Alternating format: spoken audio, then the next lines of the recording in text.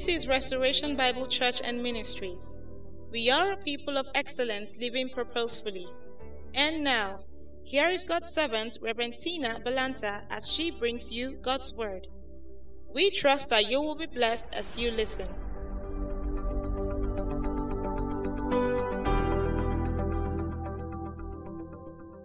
and the sea over against Baalzephon. Before it you shall encamp by the sea. For Pharaoh will say of the children of Israel, They are entangled in the land, the wilderness has shut them in. And I will harden Pharaoh's heart that he shall follow after them. And I will be honored upon Pharaoh and upon all his hosts, that the Israelites may know that I am the Lord. And they did so. Your enemies will know that there is a God in your life. When God is done with all that concerns you, when He finishes what He has prepared for you, even those that have spoken evil against you will turn and they will say, Of a truth, you serve the Most High God. Because that's how God loves to deal with His people. He loves to do things in the lives of His people so that even their enemies will turn and look and say, Kai, it's not, it's not you that did this. It's not you that did this. When the children got to the Red Sea, when the people of Israel, the children of Israel got to the Red Sea, they were afraid because of Pharaoh and his armies, but God already had a plan because it was God that told them to go there. They didn't know, but God said they should go there. Why? Because He wanted to disgrace their enemies. Your enemies will be disgraced where you are concerned in the name of Jesus. And you will look for them, you will not find them. Because God has made a decree concerning them that because they have touched you as the apple of his eyes, he will visit judgment upon them in the name of Jesus. That is what you'll find. Because that's what God says He'll do. God always knows the end of the matter from the beginning. So don't be afraid of your tomorrow because your Father knows what your tomorrow is all about. All we need to do on a daily basis, is learn to talk to Him and learn to hold on to His hands.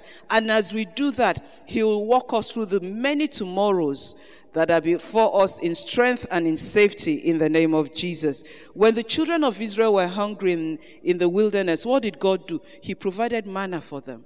He provided quail for them, meat and bread. He provided everything they needed. When they needed water, He brought water out of a rock. So, what impossible situation is facing you this morning?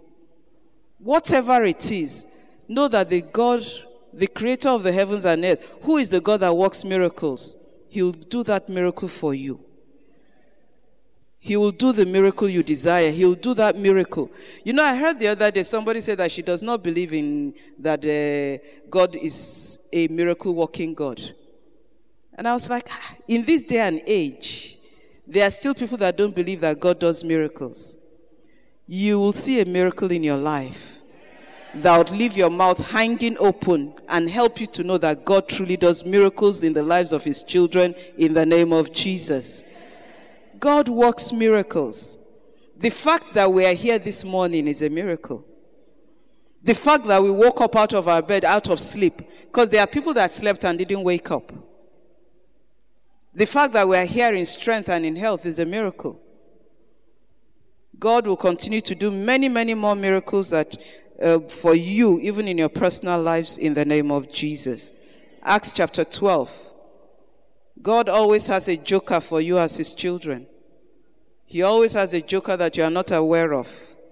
But when the joker comes, then you'll know that yes, God is faithful. Peter was in jail and as far as Peter was concerned, because his brother had been killed the day before, he knew that his own head was going off. That's what he thought. That's what he thought. He was calm in jail. He was not afraid because his life was in God's hands. But all he knew was because James was not delivered, I'm sure in his own heart he was like, God, into your hands I commit my spirit. Whatever happens will happen. And so he slept. And verse 7 says, Behold, the angel of the Lord came upon him, Acts 12 7. And a light shined in the prison, and he smote Peter on the side and raised him up, saying, Arise up quickly. And his chains fell off from his hands. And the angel said unto him, Gird thyself Bind on thy sandals. So he did, and he said unto him, Cast thy garments about thee and follow me. And he followed him and went out. Peter did not know the end of the matter, but God knew the end of the matter. Peter did not know how that night will end. All Peter had in mind was that when he wakes up in the morning, he was going to be taken to the slaughter room. But God had a, a second plan. God had an, alternative arrangement. God had a joker in mind, and the joker was the visit of the angel into that uh, prison room with him. If you need an angel in your situation, God will call, cause angels to show up and give you victory in your situations in the name of Jesus. Peter did not know what, all he knew was he needed God's help. But while he was praying, you know, there are times when you are praying and you are believing God, but in your heart, you're like, God, this is my prayer. I believe I say, there's, there's no way you can answer it. God, you did not answer Mr. A, you did not answer Brother B, you did not answer Brother C. Is it me that you are going to answer? God loves you. God has a plan for you. And because God cares about you, He will answer your own prayers in the name of Jesus. God is not partial. God does not have favorites. As far as I'm concerned, Bible says you are the apple of God's eye. So you are a favorite to the Father in heaven and he'll fulfill all that he has written concerning you in this time. Hallelujah. So that's what happened. Peter was delivered. Peter was delivered because God had a plan to save him. God will always put play the joker where you are concerned, and that joker, joker will come at the last minute, such that people will know that God has intervened for you in the name of Jesus. In Acts 27, you also find Paul going through a similar situation. Acts chapter 27, from verses 21 to 25. Paul was going through a similar situation. He was in a shipwreck. The difference was that Paul heard from the Lord. Paul heard a voice. Paul knew the end of the matter because God knew the end of the matter and God told him the end of the matter. God telling him the end of the matter made sure that Paul was not afraid in the storm. God does not keep secrets from you. Amen? He gives you His word so that you'll know what your tomorrow will be like. And your tomorrow, according to what God has told me, is full of peace and strength. Your tomorrow is full of increase. Your tomorrow is full of favor. It's full of promotion. It's full of all the good things you're trusting Him for. Because that's what He has prepared for you. Hallelujah. And that's what you're going to enjoy even in the days ahead in the name of Jesus. The angel that visited um, Paul went on that ship, what did the angel tell Paul? He said, Fear not. Fear not. Because God has made sure that everybody on this ship will be saved with you. God knows your tomorrow more than you know your yesterday. And because He knows your tomorrow, God will always tell you as you look into your future, fear not what is coming at you. Fear not what you are looking at. Because He has gone ahead and He has made provision for you. God will always say, Fear not, no matter where you find yourselves, no matter what you're going through because He is always with you. And He has made up His mind that He'll never leave you nor forsake you, even in the walk of life. So you are not alone in all that you're going through. Your Father is with you. And your Father will walk you through this situation in strength and in health in the name of Jesus.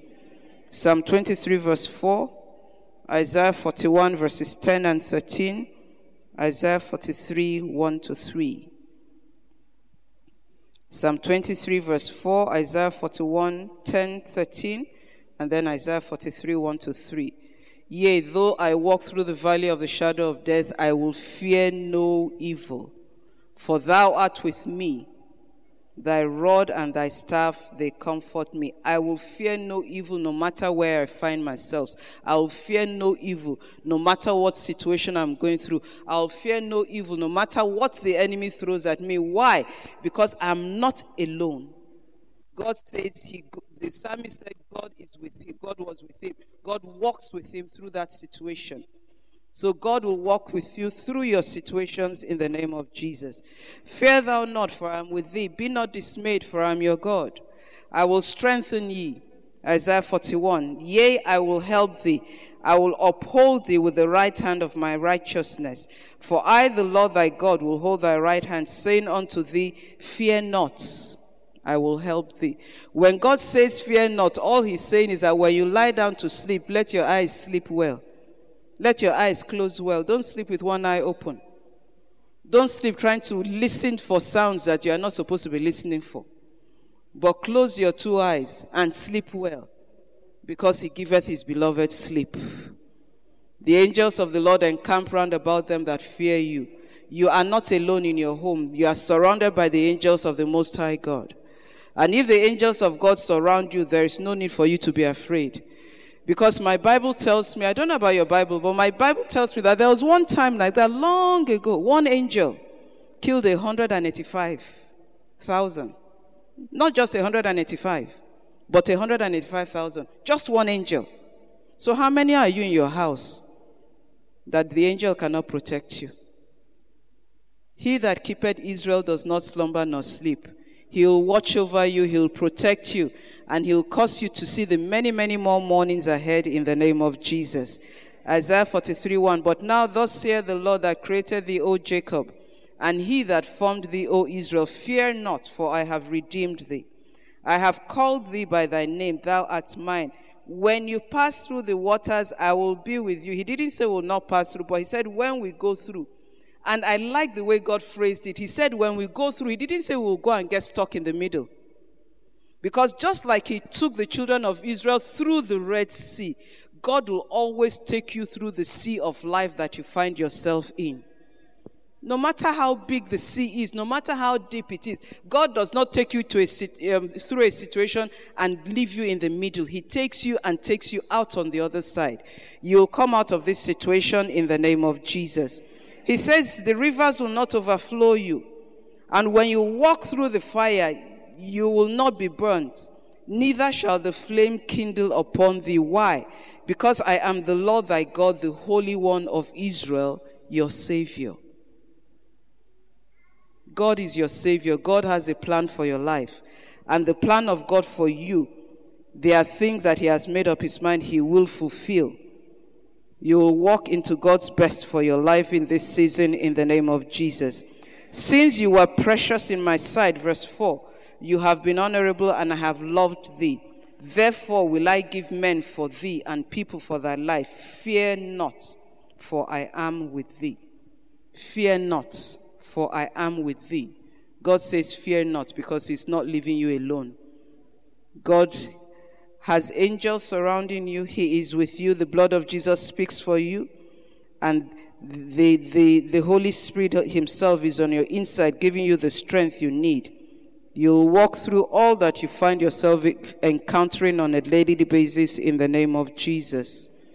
God says, Fear not, because He has not given you the spirit of fear, but the spirit of peace and of strength. The peace of God was provided for times like this.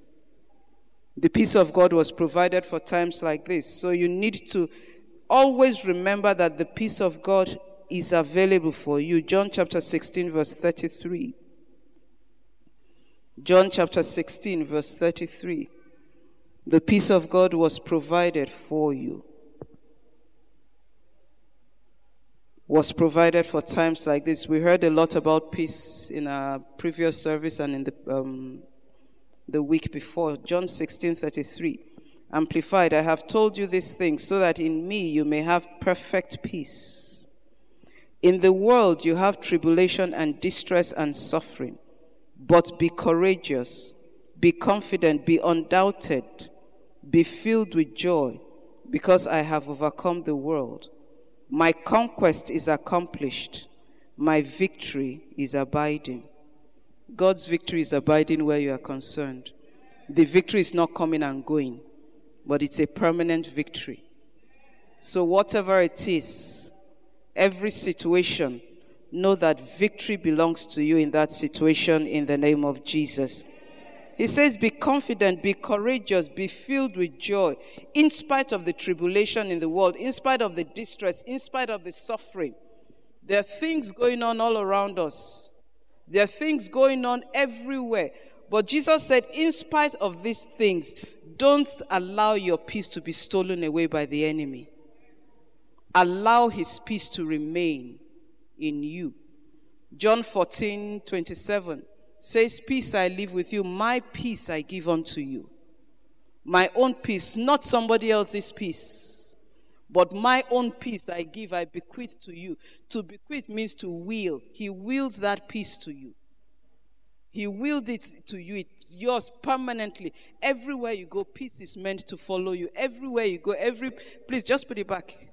Amplified version, just put it back up for me. Everywhere you go, peace goes with you. The peace of God surrounds you. Because He wants you to be able to walk on a daily basis without fear.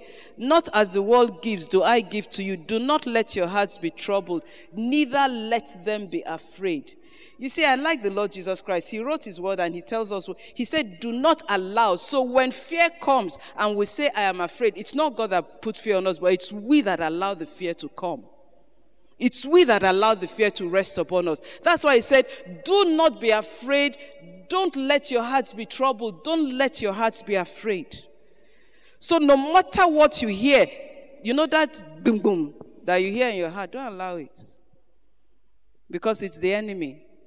Even if you are sleeping and you open your eyes and you see somebody looking at you that you don't know who he is and where he's coming from, don't be afraid because the blood of Jesus has made a dividing wall between you and that person in the name of Jesus.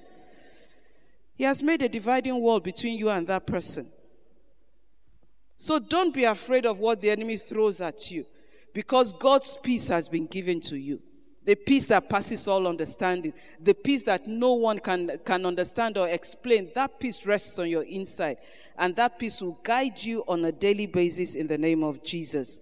There are so many things happening, but in Him we have peace.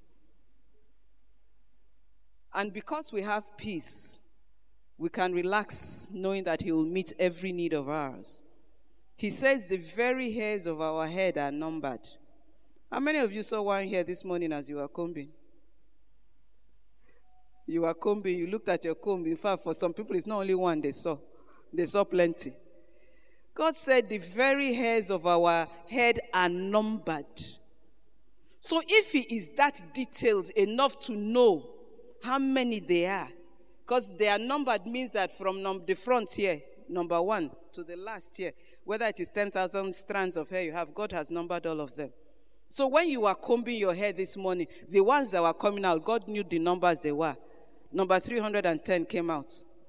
Number, number 450 came out. In fact, number 200 also came out. By the end of the day, about 15 came out. And you were like, God, let this thing not finish on my head. But God numbered all of it. And why did, does He do that? So that we can rest assured in the fact that He cares about us. He is concerned about the things that concern us, and He has gone ahead of us to make provision for everything that we'll ever need in life. God knows your needs, and God will meet every need of yours.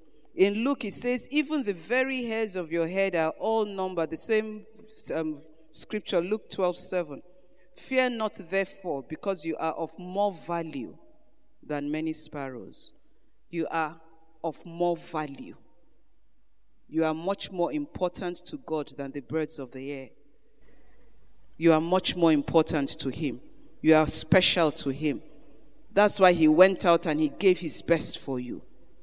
The best that He had is what He gave for you and I. And as we learn to trust in God, as we learn to hold on to His word, He will make sure that everything we need to live life in abundance, He will bring your way in the name of Jesus. When you go back, um, when you go down in that Luke chapter 12, verse 23, it says, The life is more than meat, and the body is more than raiment. Consider the ravens, for they neither sow nor reap, which neither have storehouse nor barn, and God feedeth them. How much more are you better than the fowls? And which of you, with taking thought, can add to his stature one cubit? Which of you by worrying can grow taller? That's all he's saying. How many of you have grown taller by worrying? How many of us have become four, five inches taller because we sat down and we were worrying about tomorrow? We sat down and we were worrying about our bills. We sat down and we worried about the last report we got. How many of us grew taller? Nobody grows taller. In fact, instead of growing taller, you get weaker. That's the truth of the matter the more you meditate on the lies of the enemy, the more you think about what has not happened, the more you think about the bills you have, the more you think about the journey that you are, partaking, you are taking tomorrow and you're not sure of what's happening on the road, the more you think about the negatives, the more you stress yourself out, the more you fill yourself with strength, uh, stress and ill health. That's why he said, Take no thought, saying, Don't take thought about all those things. How do we take thought? We take thought by talking about those things that we are thinking about. Let's learn not to allow what the enemy, you know, like we always say, you cannot stop a bird from flying. But if the bird now wants to make a nest over your head, you have to tell yourself, mm, you cannot do that. Thoughts are free to come, but thoughts are not free to rest in your hearts. Thoughts are free to come through your minds, but they are not free to make a dwelling place in your hearts. As long as those thoughts don't align with the word of God, as long as those thoughts are not saying what God has said concerning you, what God has said about your tomorrow, those thoughts have no business dwelling in your hearts. That's why he said, Take no thought. He said, Why do you take thought for the rest?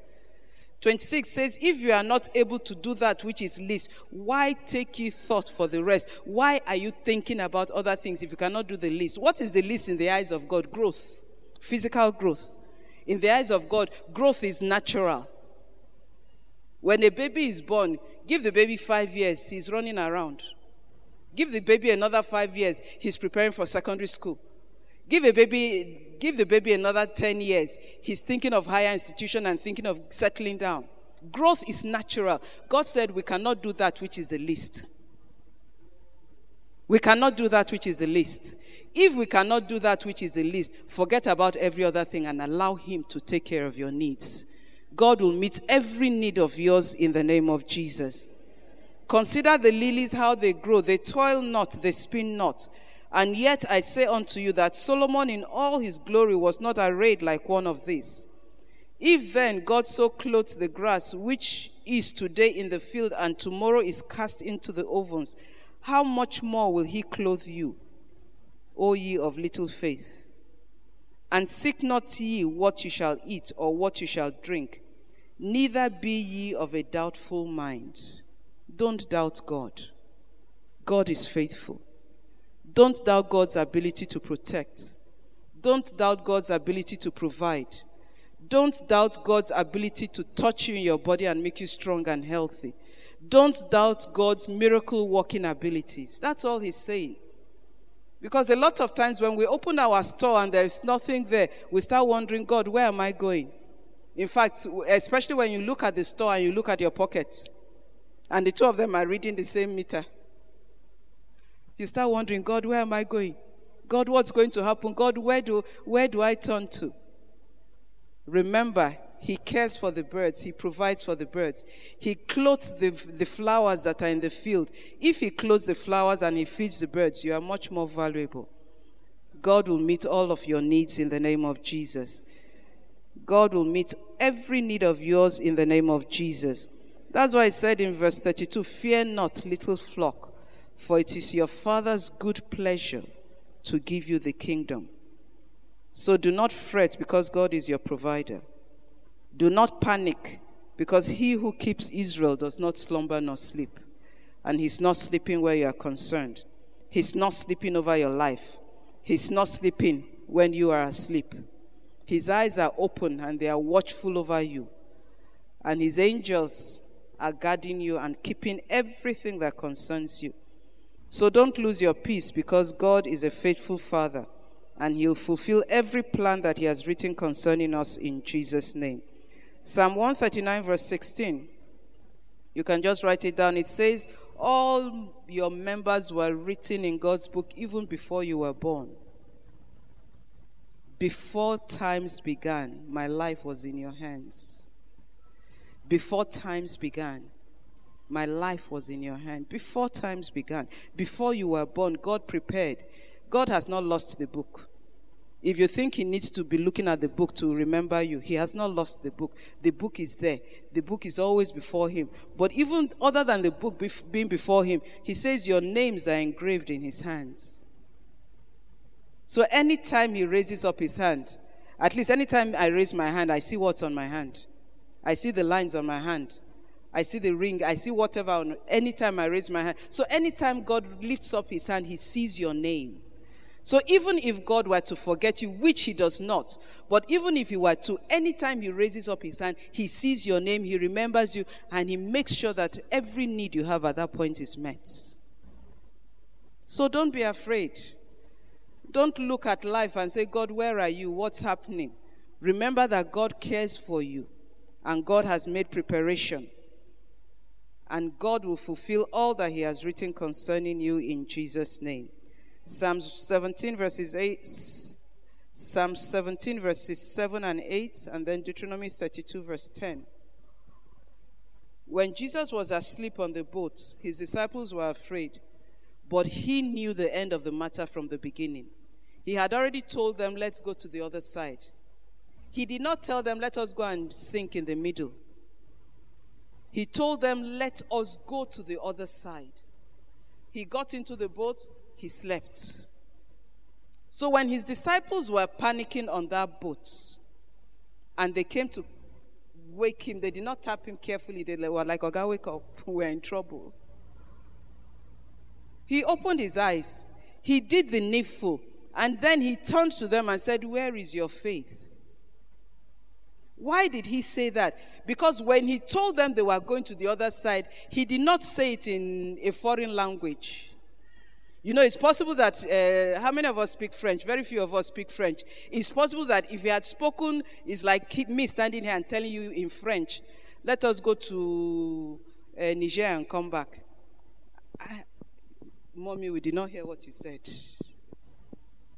But when he spoke to them, he spoke to them in a language they could understand. Let us go to the other side. He did not change his mind in the middle. He did not change his mind. When the waves rose up, the waves were trying him, but he did not change his mind. So when things rise up against you, the enemy is trying to see where your faith is at. The enemy is trying to see, does this child of God believe that God really cares about them? Does this child of God believe that God can provide for them? Does this child of God believe that God is able to do exceedingly abundantly above all he has said concerning them? That's what the enemy does when he rises up against you. And all God expects us to do at that point in time is to say, Peace, be still. God is my provider. So if you like, store, you can be empty. We are not going hungry. The angels of the Lord encamp round about us. So if you like, or oh, whatever is happening, we are going to sleep in peace. The blood of Jesus was shed on our behalf. That blood is the blood of God Himself. So no matter what happens, that blood will speak for me wherever I find myself. Hallelujah. So we need to learn to answer the enemy when he raises up his head. Because there will always be a storm in our lives, whether it's small storms or big storms. Storms will come against us. What do we say to the storms when they rise up against us? The words we speak to the storms are what determine whether the storms will collapse or not, or whether they'll keep standing. But whatever storm comes against you, they will fall before you in the name of Jesus. As you speak the word of God over situations you face, every storm that rises against you, they will fall for your sake. They will fall before you because the King of Kings has given you his word. And the word that you proclaim is the word full of power in the name of Jesus. God's words are yes and amen. God's words, they are yes, they are amen. They cannot fail. So at every point in time, let's learn to answer the storms with the word. Let's learn to answer the, the thoughts flying through our minds with the word. Thy word have I hid in my heart. Yes, that I might not sin against thee, but also that I might not fall before the enemy. You will not fall before your enemies in the name of Jesus. Jesus was not a superman in the boat, just like Paul was not a superman in the ship. The only thing was they knew. They knew the end of the matter from the beginning. Where your life is concerned, what is the end of the matter? What has God told you about your tomorrow? Hey, mommy, I don't know. God has not told me anything. I, I know what He has told you. With long life, He'll satisfy you and show you His salvation. That's what God has said concerning you. Every need of yours, He said He will do exceedingly much more than you can ask or imagine. Everything, whatever you have dreamt about, God said He will bring it to pass where you are concerned. He has said you will fulfill your number as the number of your days. You will live to see your children's children. You will live to see your children grow strong and have their own families. You will have your own homes. You will have your jobs. You will have all that you need to fulfill life. That's what God has said concerning you. That's what God has said concerning you. And you might not see it, but I see your names written in the Bible on a daily basis. So, all God wants us to do is to remind Him of where He has written our names. Remind Him of where He has written our names. Remind Him on a daily basis. And as we do that, God will always see to it that everything He has written concerning us will come to pass in the name of Jesus. Whose are you this morning? Who do you belong to? Paul knew who he belonged to. Paul knew whose he was. And because he knew whose he was, he knew that the God whom he served was not going to let him drown in that water, in the sea. God will not let you drown in the storms that are facing you in the name of Jesus. Psalm 17 says, verse 7 says, Show thy marvelous loving kindness, O thou that savest by thy right hand them which put their trust in thee, from those that rise up against them. Keep me as the apple of thine eye. Hide me under the shadow of thy wings. God saves by his right hand those who put their trust in him. Is your trust in God this morning? If your trust is in God this morning, God saves, God protects, God provides for. There is no need to fear.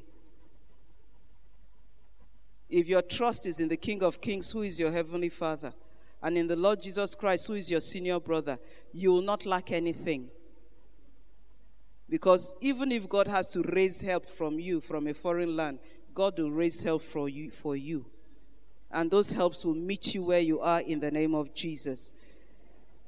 He says, the psalmist goes to say, Keep me as the apple of your eye, hide me under the shadow of your wings. And when you go to Deuteronomy 32 10, Talking about um, Jacob, about Israel, the Bible says he found him in a desert land in the waste howling wilderness.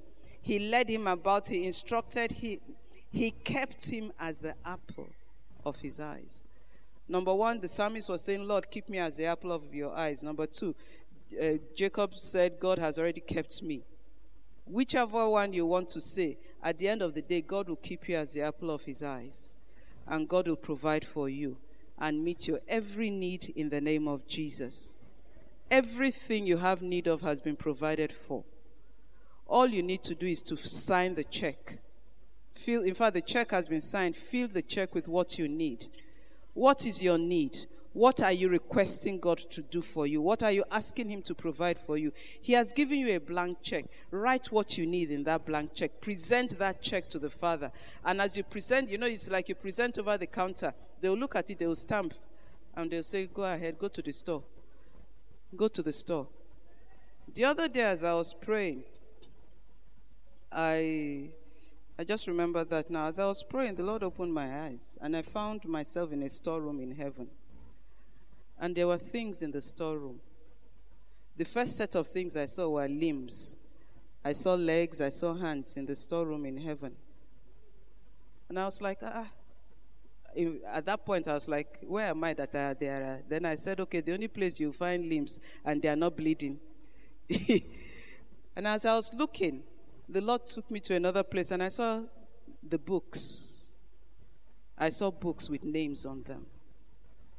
And the Lord said, As long as my children are willing to stay close to me, everything I have written about them I will bring to pass.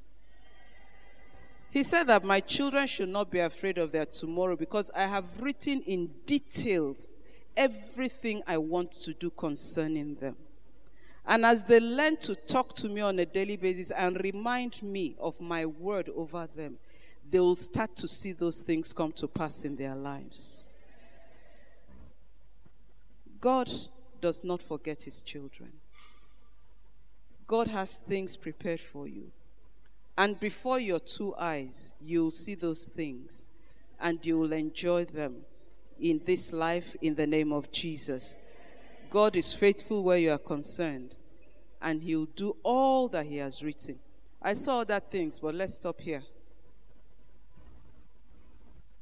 Just know that your book is there. And your book was not hidden, the books were not hidden. You know, it was not a case of having to bring cartons out to try and locate. It was like the shelves were this, and the books were just there. You could just walk up to anyone. I looked at a few. You could just walk up to anyone and see what's inside them. And one other thing God told me was this when He changes your garments, it reflects. It reflects in your life. There were some people that the stories at the beginning of the book was different from the stories at the end. And he said that was because their garments had been changed at some points.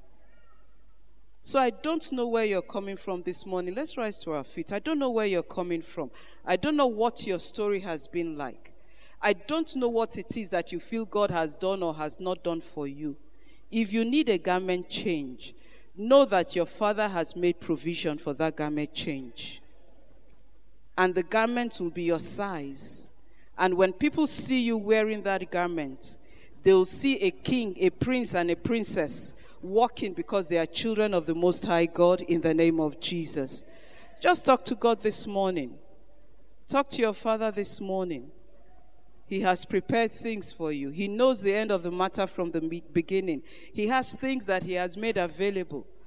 Your natural eyes might not see them, but the things are there. They are written in His books the books that He has concerning you. Learn to go to God on a daily basis and say, Papa, I don't know what page I am, but I need to open the next page. I need to enter the next page. I need what is in that next page to come out. And as we do that, those things will show forth. Whether you're trusting God for the fruit of the womb or for a life partner, whether you're trusting God for business resources or whatever, they are all written in your books. And as you call God's name, as you call his name, he'll cause all those things to come your way in the name of Jesus. Precious Father, we thank you for your faithfulness. We thank you that you know the end of our, the, our lives from the beginning.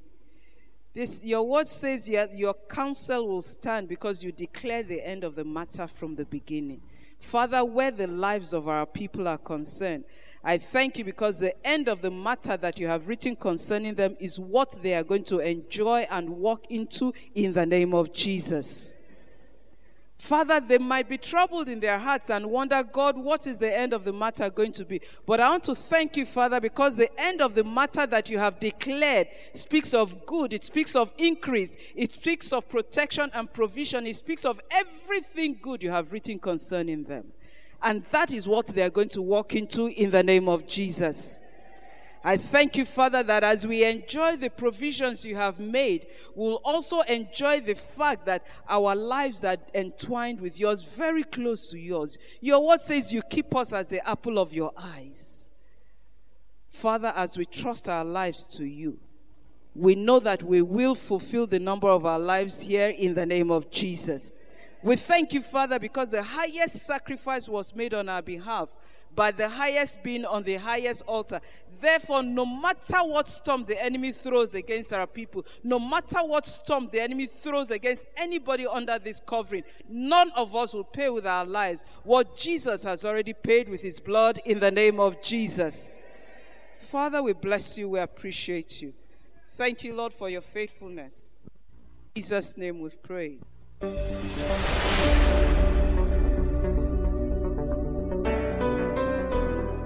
Thank you for listening to today's message. Do join us same time next week.